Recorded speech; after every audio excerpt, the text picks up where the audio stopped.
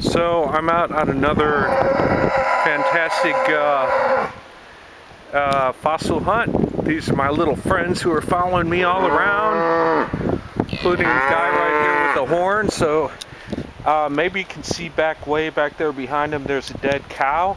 I just uh, came up here with two, with two Great Pyrenees dogs that uh, followed me around. And when they found the dead cow, they went up to it, started sniffing it, and all these cows kind of came over. There's a cute little calf.